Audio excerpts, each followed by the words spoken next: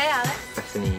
I missed you in the library today. Uh, I had, I had nothing. Uh, I mean, I, oh, yeah, well, it was with a, bit, with a busy. Don't be a stranger.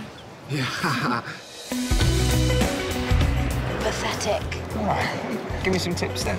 How do I go about seducing a woman who's out of my league? Mm, well, you're at a disadvantage being a, you know, virgin. got news.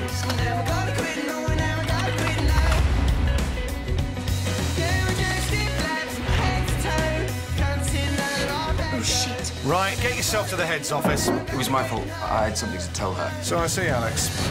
Congratulations on losing your virginity.